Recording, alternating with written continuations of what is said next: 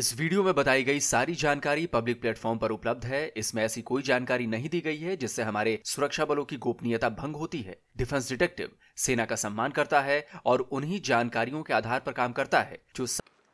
नमस्कार दोस्तों, defence detective के एक और एपिसोड में आप सभी का स्वागत है। मैं हूँ आलोक। तो दोस्तों, पाकिस्तान का नाम एक बार फिर ऊँचा हुआ है।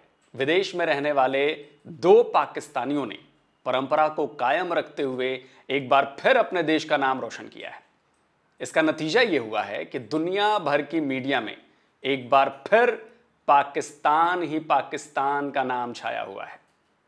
पाकिस्तानियों को आपने अक्सर यह कहते हुए सुना होगा कि जी, उनमें टैलेंट बहुत है, बहुत टैलेंट है।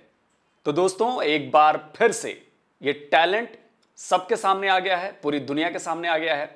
और हम सब ये जानते हैं कि पाकिस्तानियों के इस टैलेंट के सामने दुनिया के इक्का दुक्का मुल्क ही टिक पाते हैं। तो चलिए, आपको दिखाता हूँ कि पूरी दुनिया एक बार फिर क्यों पाकिस्तान पाकिस्तान कर रही है। द टाइम्स ऑफ़ इसराइल की इस खबर को देखिए। इसमें बताया गया है कि दो लोगों को ग्रीस के एथेंस में गिरफ़्तार किया गया है, जो ईरान के आतंकी प्लॉट पर काम कर रहे थे। इसराइली और ज्यूज पर अटैक करने के लिए इसमें इसराइली सीक्रेट सर्विस मोसाद के बयान का हवाला देते हुए कहा गया है। कि उन्होंने इस इंटरनेशनल टेरर नेटवर्क की जाँच शुरू कर दी है, जिसमें ग्रीस की तरफ़ से कहा गया है कि आतंकी एथेंस में मौजूद जूइश रेस्टोरों पर हमला करने की फाइनल स्टेज में थे। पूरी दुनिया के जो बड़े मीडिया हाउसेज हैं, उन्होंने इस बड़ी घटना को कवर किया है। देखिए फॉक्स न्यूज़ लिखता है कि मोसाद ने ग्रीस में जूइश रेस्तरा पर बड़े हमले को नाकाम किया, जिसमें बड़े पैमाने पर लोगों की जान जा सकती थी। द वॉल स्ट्रीट जर्नल की हेडलाइन है कि ग्रीस ने जूइश और इजरायली टारगेट पर होने वाले हमले को नाकाम कर दिया है। पाकिस्तान के बिरादर मुल्क टर्की का सरकारी मीडिया एनादुल एजेंसी उसकी हेडलाइन है कि ग्रीस ने दो लोगों को गिरफ़्तार किया है जो यहूदी टारगेट पर आतंकी हमला करने वाले थे। ये दोनों आतंकी जो गिरफ़्तार हुए हैं, वो पाकिस्तानी हैं और इनका संबंध एक पाकिस्तानी जिहादी ग्रुप से है जो ग्रीस की राजधानी एथेंस में ऑपरेट कर रहा था। अब हैरान होंगे कि जिन दोनों पाकिस्तानी आतंकियों को ग्रीस पुलिस ने पकड़ा है, उनमें से एक की उम्र 27 साल है और दूसरे की 29 साल। इन्हें ईरान से आतंकी जो था एक, वो अटैक करने के लिए उसने रिक्रूट किया था और इनको एथेंस में सीरियल अटैक करने के लिए तैयार किया गया था।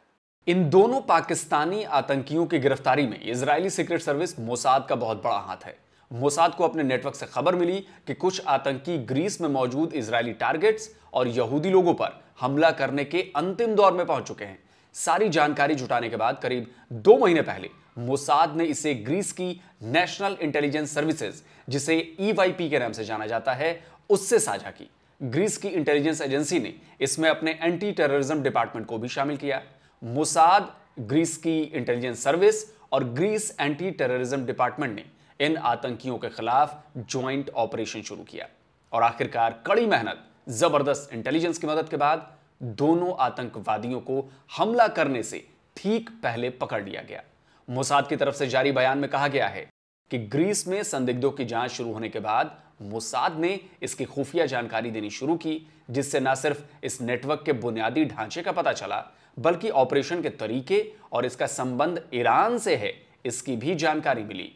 मुसाद की तरफ़ से साफ़ साफ़ कहा गया है कि ये दोनों पाकिस्तानी आतंकवादी, जिन्हें ग्रीस में पकड़ा गया है, वो एक बड़े ईरानी नेटवर्क का हिस्सा थे। जैसे जैसे जाँच आगे बढ़ी वैसे वैसे पता चलता गया कि ईरानी आतंकवादियों का ग्रुप इसमें शामिल है, जिसने पाकिस्तानी जिहादी ग्रुप के साथ मिलकर इस हमले को अंजाम देने की प्लानिंग की थी। जाँच में यह भी पता चला कि करीब चार महीने पहले इन दोनों पाकिस्तानी आतंकियों को टर्की के रास्ते ग्रीस में अवैध तरीके से घुसाया गया था। ये दोनों पाकिस्तानी आतंकी अपने मकसद में कामयाब होने के बेहद करीब पहुँच चुके थे और इनका टारगेट एक हमले का नहीं था, बल्कि सीरियल अटैक्स करने की थी। इन दोनों पाकिस्तानी आतंकवादियों का सबसे पहला टारगेट था सेंट्रल एथेंस में मौजूद एक जूइश रेस्तरा। यह रेस्तरा सेंट्रल एथेंस के साइरी नाम के इलाके में है।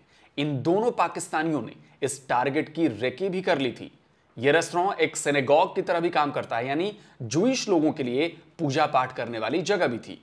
इन दोनों ने उस इमारत की पहचान कर ली थी, इस पूरे इलाके का सर्वे भी कर लिया था। अटैक की प्लानिंग भी हो चुकी थी।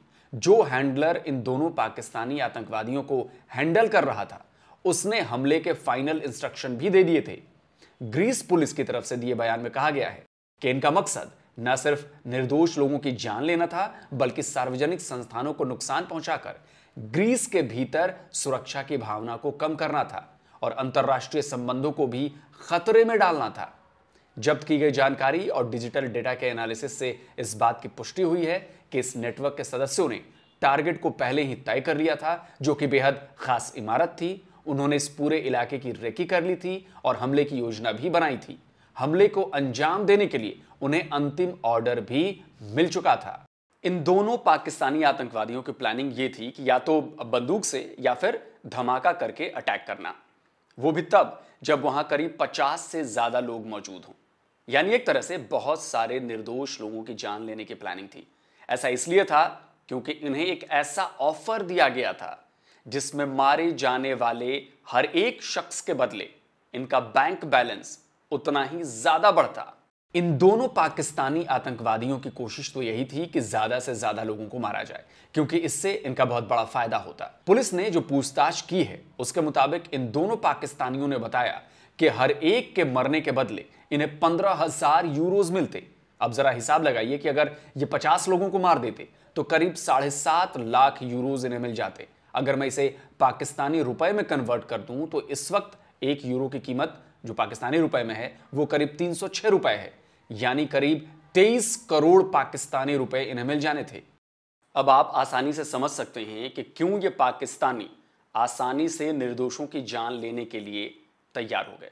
क्योंकि ईरानी जानते हैं कि पाकिस्तानी लोगों के दिमाग में बचपन से यहूदियों के खिलाफ जहर भरा जाता है। उन्हें दुश्मन नंबर एक बताया जाता है। देखिए ये क्लास सेवन हाँ। सात सात सातवीं जमात में बच्चे की क्या उम्र होती है चौधरी साहब ज़ाहिर है मैक्सिमम ग्यारह साल ग्यारह बारह साल के बच्चे को आप क्या सिखा रहे हैं हम्म। आप उनको यहूदियों के खिलाफ हम्म। पैगाम दे रहे हैं सात साल के बच्चों को बता रहे हैं कि यहूद जो, जो हैं वो किस कदर बुरे बस यही काम है। उनका यही काम उनका यही काम हालाँकि टोटली बिल्कुल गलत बात है। और ऐसा सिर्फ़ यहूदियों के साथ ही नहीं होता। उन्हें हिंदुओं के बारे में भी ऐसे ही पढ़ाया जाता है इतनी ही नफरत सिखाई जाती है। अपने खिलाफ इतने बड़े हमले को नाकाम कर दिए जाने पर। इसराइल ने ग्रीस का धन्यवाद अदा किया है। इसराइल की सरकार की तरफ़ से ग्रीस को बार बार थैंक यू बोला जा रहा है। ट्विटर पर इसराइल के विदेश मंत्री एलिकोन ने भी ग्रीस की सरकार और वहाँ के सिक्योरिटी एजेंसी को धन्यवाद दिया है। उन्होंने अपने ट्वीट में कहा है कि मैं ग्रीस की सरकार और ग्रीस की इंटेलिजेंस और सिक्योरिटी सर्विसेज़ को धन्यवाद करना चाहूँगा, जिन्होंने जूश और इसराइली टारगेट के खिलाफ इतने बड़े आतंकी अटैक को विफल कर दिया है। आतंकवाद हमारा एक साझा दुश्मन है और इसके खिलाफ लड़ाई हमारी सर्वोच्च प्राथमिकता है।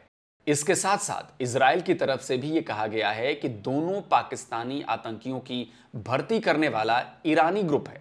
ईरान की तरफ़ से ही इस पूरे अटैक की प्लानिंग रची गई थी। अपने अगले ट्वीट में उन्होंने कहा है कि तेहरान में अयतुल्ला की सरकार मिडिल ईस्ट और पूरी दुनिया में आतंकवाद को एक्सपोर्ट करती है और सिर्फ़ एक दृढ़ और संयुक्त रुख से ही हम ईरानी शासन की आतंकवादी घटनाओं को रोक पाएँगे। अब आगे इसमें इसराइल की तरफ़ से क्या किया जाता है और ईरान की तरफ़ से इस पूरी घटना पर किस तरह का रिएक्शन आता है यह तो देखने वाला होगा। लेकिन इन सब के बीच पाकिस्तान और पाकिस्तानियों का जो असली चेहरा है, वो एक बार फिर पूरी दुनिया के सामने आ गया है। इससे एक बात तो साफ़ हो चुकी है कि पाकिस्तान ने एक बार फिर एफ़ की लिस्ट में शामिल होने की तरफ़ एक और कदम बढ़ा दिया है। वैसे पाकिस्तान की न्यूज़ वेबसाइट पर इस खबर को प्रमुखता से जगह नहीं दी गई है, पर द एक्सप्रेस ट्रिब्यून ने इसे पब्लिश ज़रूर किया है।